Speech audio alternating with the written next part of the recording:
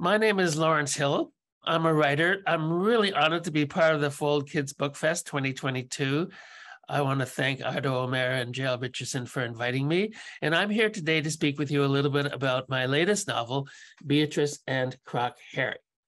Although um, my other earlier 10 books were written for adults uh, dealing with weighty tomes of identity and Black history and uh, segregation and freedom and uh, the search for uh, Blackness and, and the movements of people uh, around the African diaspora over the course of time. Um, I really, in some respects, these continue to be my preoccupations in this book, but I've written a novel for children, and I hope it's also for adults and anybody who's young at heart.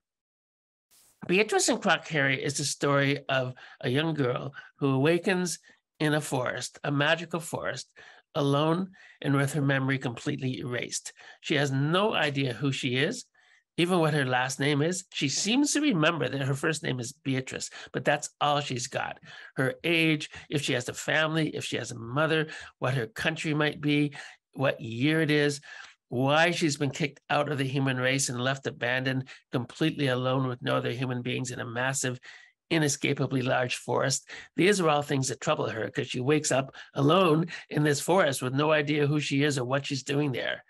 Now, if I were to wake up alone and abandoned in the forest, I wouldn't mind some food and books. And so I have Beatrice uh, the privilege of waking up in a treehouse stocked with food and books. This is not a starvation story. This is not a story of how am I going to overcome the elements or stay alive. Um, it's a story of the search for Beatrice's identity.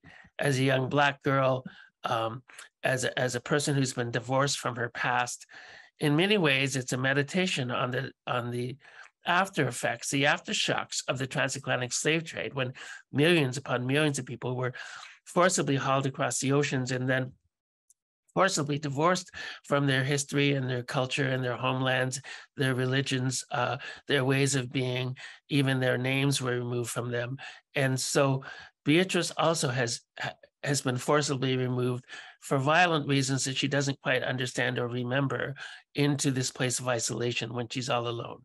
And um, I I decided that she should meet a, a, predator who's quite dangerous, that she's going to have to tame and turn into an ally. And this predator is a 700 pound crocodile named Croc Harry with 69 teeth and a massive carnivorous appetite who would first like to have her for breakfast, but they have to overcome this little hiccup of whether he will or won't have her for breakfast. And once they've uh, uh, agreed to a truce. Uh, she won't uh, uh, do anything nasty to him. She's got some tricks up her sleeve, and he won't attempt to have her for a meal. They have to form a friendship, and together they're going to go on a journey to try to discover their mutually lost identities because he too has had his memory erased and he too has no idea what he's doing in this forest or why he's there, what his history is as, as a crocodile. Um, I have long been interested in issues of Black identity and Blackness and how one develops a positive sense of identity as a young Black person. Growing up in Toronto in the 1960s as a child of an African American father and a white American mother, both of whom were civil rights activists uh, throughout their lives. Um, identity, uh, blackness, uh, being black in a place where th- that might be somewhat ill-defined or misunderstood are things that have preoccupied me in all of my writings. I seem to keep coming back to them. And here, Beatrice will also awaken, not first even thinking about the fact that she's black and why should she she, has other things on her mind like is that crocodile going to kill her or is that tarantula going to sting her or bite her or, or um, make her arm go numb or perhaps die of tarantula toxicity. And so Beatrice has other things on her mind.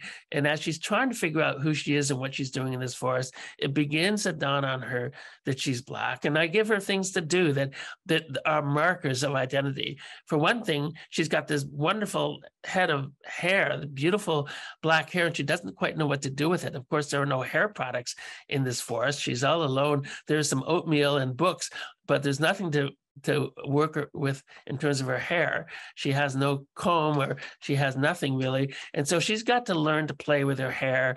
And she has some missteps. At first, she tries to use coconut water. That's useless. That just makes things worse. And she eventually graduates on to finding some um, avocado which she can mash up and that sort of helps her loosen her hair a bit so she can work with it and do fun things with it and move into her identity as she begins to discover her hair she also has a challenge of dealing with a crocodile who has a massive vocabulary. And because the book is full of weighty issues like identity and a violent past and what it's like to have been removed entirely from one's background and family, home, culture, nation, and to have to find perhaps one's way back to that, I wanted to leaven the book and make it entertaining and uh, interesting for young readers, hopefully for all readers of all ages, by injecting a lot of play. And so there's a lot of language play in this book. Words like guzulum and um, crocohypoliterosis and decrocustation, you know, sort of abound on the pages. And there's even a glossary at the back of the book for all these made up words and silly words and highfalutin words that may be real but are completely ridiculous. If you're wondering, and if your students are wondering, um, refers to the process of hurling oneself out of the belly of a crocodile after having been ingested to save one's life in the nick of time. I hope your readers, uh, your students, your children who come into your libraries and your schools love the book. I hope you do too. I had a riot writing it. Thank you very much. Hi, my name is Emily Seo, and I am a scientist and author living in Vancouver, BC. My debut novel, The Science of Boys, combines my background in the sciences with my passion for writing for young readers. The Science of Boys is published by Tradewind Books and illustrated by Gracie Zhang. It's a story about a preteen girl, Emma Sakamoto, who wants to reinvent herself at the beginning of high school. So when a popular girl enters the scene and lets it be known that she has a crush on a highly sought after boy, Emma lies and tells her that she's writing a book about the science of boys. The only problem, she knows nothing about boys.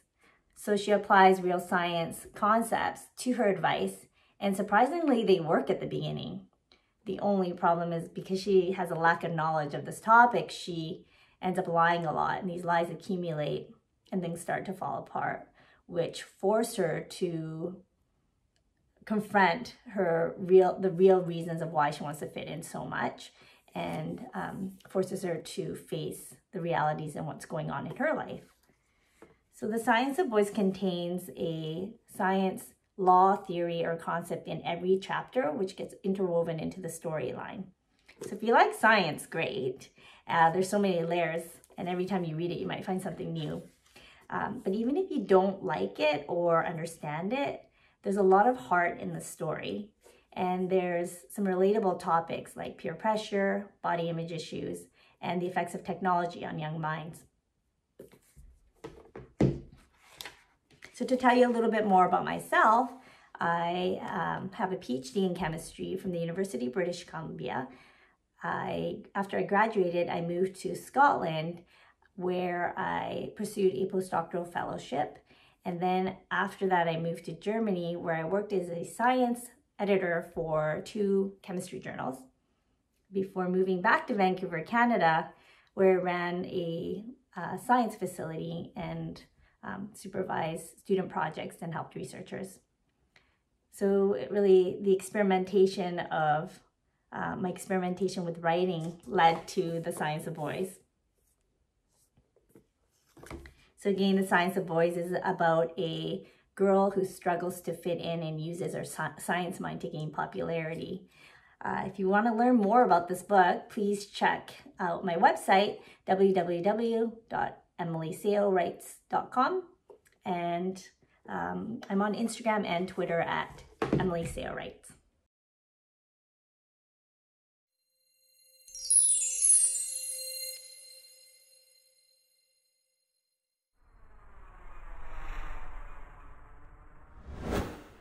Hi, my name is Joan Marie Galat, and I'm the author of Mortimer, Rat Race to Space. This is my first middle grade novel, but my 24th book. I've written a lot of nonfiction, often with storytelling involved, and uh, I like to explore STEM and STEAM topics. So this book is about Mortimer, a lab rat, a journal-keeping lab rat who thinks that his species should be the one to colonize Mars. He competes in a race uh, through a maze to get a spot on the International Space Station. He may not win that race, but he does find his way up into space. He has a YouTube channel and he has a camera and he's conducting experiments on the astronauts to prove that his species should be the one to colonize Mars. But things don't go exactly as he planned. He has some problems with his friends along the way. There's some tricky things about living in space. And he has to make some big decisions. He has to decide whether he should continue to follow his dream or whether he should make the right decision, do the thing that's right. He starts to really get a little creative with his uh, YouTube videos and he gets called on it. So this is a great book for addressing the topic of misinformation and um, the importance of doing proper research and being careful what sources you use to get information. A teacher's guide is available for Mortimer Rat Race to Space. It includes discussion questions, writing, art, and science activities, as well as an activity sheet that you're welcome to print. I like to visit schools both virtually and in person. I love to travel, so if you invite me, um, I just might show up. One of the things I like to do is show students this model of a SpaceX rocket. It's the same rocket that Mortimer used to travel up to the International Space Station. Five, four, three, two, one.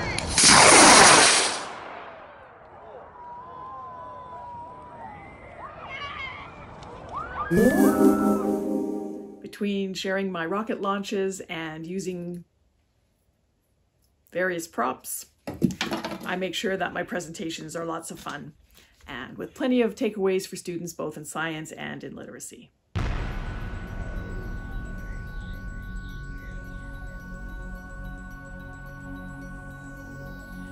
I want kids to know that there is a special book for every kid in the library and that their job is to find it.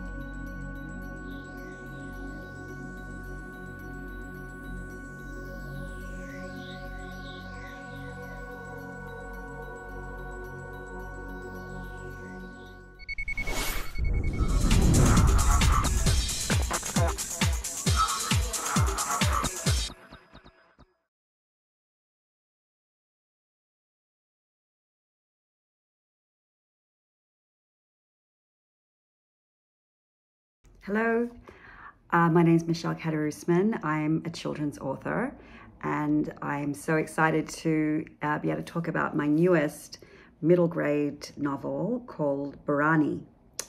Now, Berani is set in Indonesia, my father's homeland, and it centers around a captive orangutan. And the book is, is told in three different voices one is Malia, who is um, a youth activist, and she's very um, set on saving um, the rainforests, and which is the orangutan's habitat.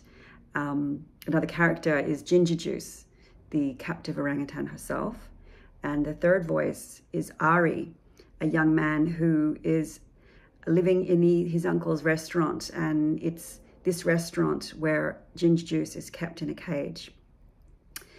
Uh, and the two um, the two young people have to come together to liberate uh, ginger juice. The the themes are conservation, um, activism, and endangered species. Um, there's also social themes of speaking up, um, speaking up for others, um, doing the right thing. The character Malia is Indonesian Canadian. And uh, so, like me, she's come from two different cultures. So, there's a little bit um, uh, of that character exploring her identity. Um, I wanted to introduce this subject um, because I've grown up with an Indonesian parent and a parent from a Western culture.